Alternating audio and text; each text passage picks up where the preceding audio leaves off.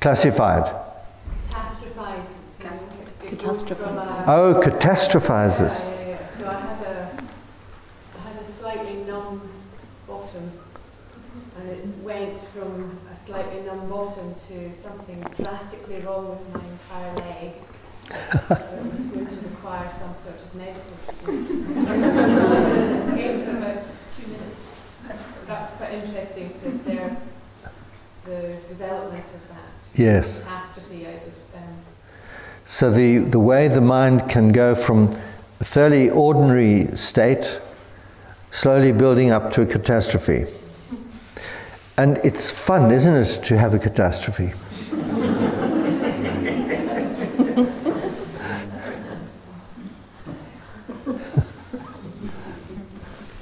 Um, a sense which is um, common in my practice of um, a real physical feeling of uncertainty in our body. Feeling of uncertainty? Of uncertainty. That's the only word I can think of if I was to put a label to it, of the sensation that's in the body. And that's when I notice that there are thoughts and I come back to the support, um, there's a sense of uncertainty there and um, I guess you might also call it a sense of not knowing, but it's a, it's a fearful uncertainty that I try to be with um, and it feels like, or in my mind, I want it to come up and reveal something, but it's also fear of that uncertainty as well. Yeah. And you don't know, you're not particularly aware of what you're uncertain about. No. Um,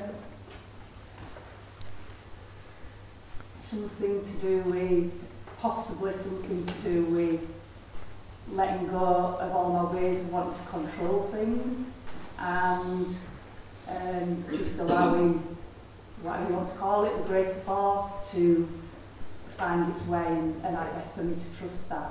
hmm So this uncertainty follows you around. Yeah.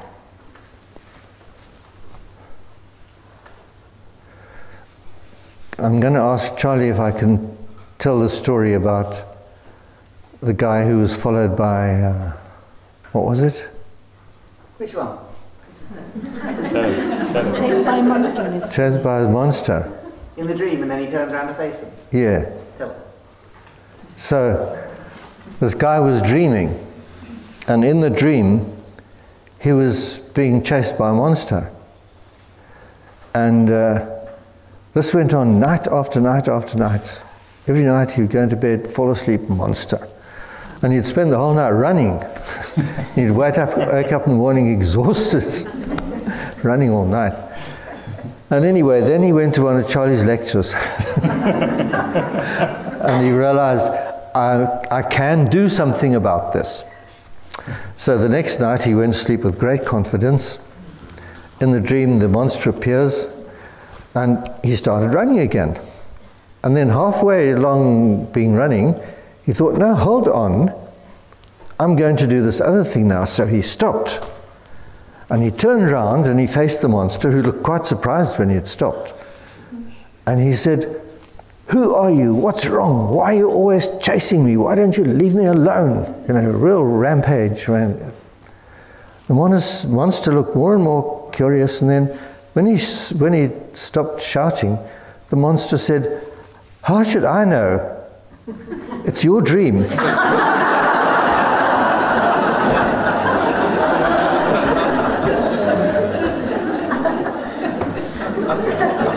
And that is how it is in our lives.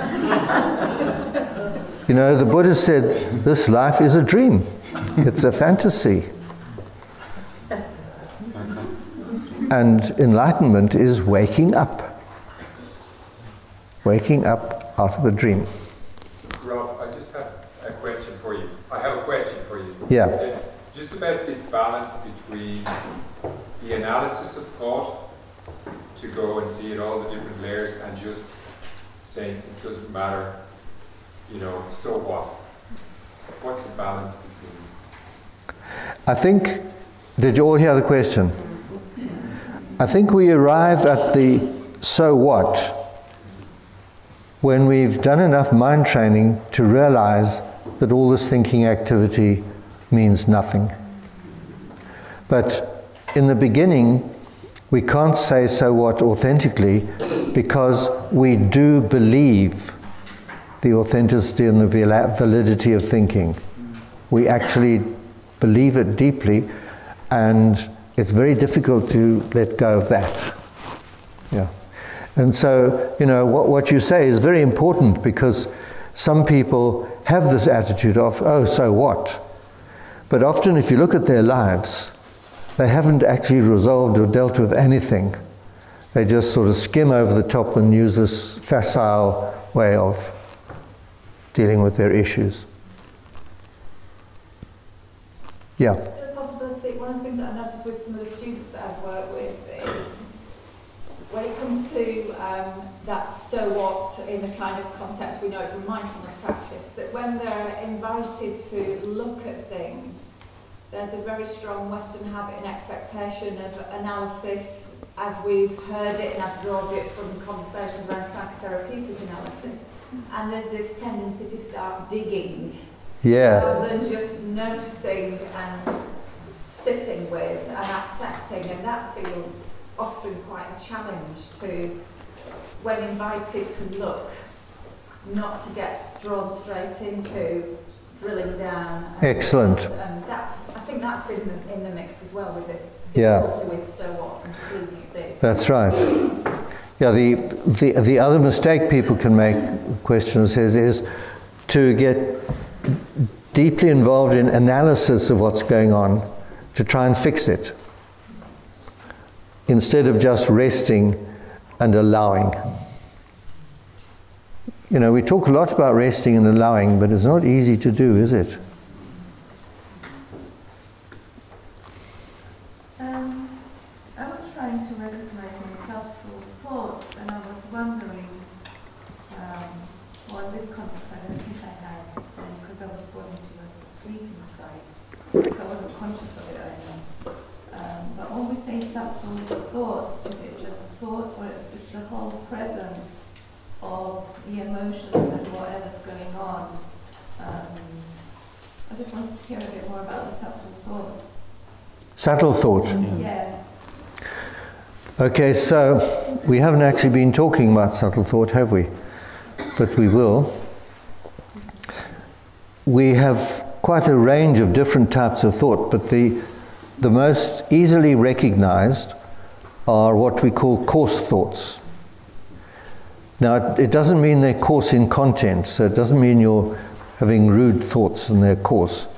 It just means they're coarse because they're easily recognizable. So at this moment, all the thoughts you're having that you're aware of are coarse thoughts. Then below that, there is the layer of subtle thought.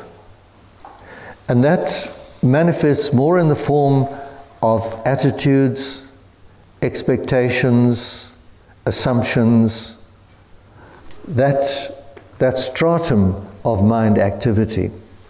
They're still of the nature of thought, but they don't move and express themselves. They're, they're, they're sort of attitudes or feelings that seep in, and they're extremely powerful. For example, if you take attitude, the attitude of, or the subtle thought attitude, you may not realize you have an attitude. You might be, for example, critical to, of somebody, and when you meet them, that sense of critical comes up, but you don't express it. You may not even quite see it, but the other person receives it loud and clear, don't they? When somebody is critical towards you or something like that, you pick it up even though they don't say it. So that's coarse thought and subtle thought. We're dealing with both. Subtle thoughts are the most powerful. And then subtle thought fades into subliminal. And the subliminal area is extremely powerful. It's the area of the mind that precedes recognizable thought. So, the, within the subliminal is the tendency to produce thoughts, and that tendency is a subliminal entity which slowly matures into a subtle thought and then a coarse thought. So, if you look at your mind, you'll see that a lot of the time there's a recognizable scenario. Yeah? So, if I say to you, What sort of person are you? What sort of person are you? What springs up in your mind? Enthusiastic. Enthusiastic, good.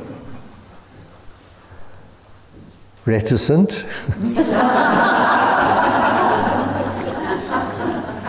okay, so that, that area would be the subliminal. So you have to reflect and think, you know, what, what sort of person am I? What is this, or whatever it was. Yeah, so there are those layers. Awareness reveals all of them. Trish, I have a question. Trish, last one. The little example you gave when you were going through the different parts of insight reminded me of something that I repeatedly see as a really tricky part of our brains, or at least mine. uh, and that is when you're talking about having bought into a thought, like the person didn't like you, but it could be anything, and then you meet the person and get the information that that was all a mistake. In your example, you said it goes up in a, it goes in a puff of smoke. But a thing that I repeatedly see as being very difficult is when we've bought into a particular idea and then we get new information that logically tells us that what we've bought into was not true. But what I see is like a David and Goliath situation is then set up.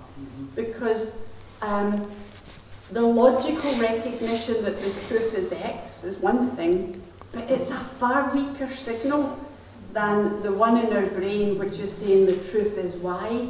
And whatever the programs are that determine significance in our brain is automatically given significance to this big rammy that's going on with the wrong stuff. And for the right stuff to get a grip, it's very difficult. And I've done work at times trying to figure out how do you skillfully handle this situation when, when all the internal programs um, are strutting their stuff in the most unhelpful way. And I'm just interested to know your thoughts on that. When the, when the negative stuff struts its struts its what? So it's, it's instructions stuff, you know. Yeah, okay. I was, no, I just wanted to get your phrase. When the negative stuff struts its stuff, um, do you or do you know, do you not know that it's happening? Oh, I do. Okay, good. So there is awareness. Therefore, it's not a problem. You know it's happening and you have choice. As soon as you know, as soon as your cognitive mind knows it, you have choice. Oh, I, I know that, but what the difficulty is is trying to find a skillful way to to proceed. Um, Well, that's- it is that you just endure the discomfort of. Yeah, that's going to depend on, on the way you use your own mind. You see, some people would then totally dismiss it, and th- they would be free of it. You know, some minds work like that. Others would have to reason it through until they had seen all the different aspects and realized this is nonsense, and then they're free of it. Others would go into denial. It's just not happening. And then they would feel free of it. So each of us will deal differently with that. And it's dependent on what sort of mind we have. My sense is what takes the power out of that is genuine acceptance of the Goliath, you know. when you generally accept it, but you nonetheless choose to put your energies elsewhere. Uh-huh, uh-huh. I think that's, for me, the, the key thing. Hmm. I think we've got to end now. Thanks very much.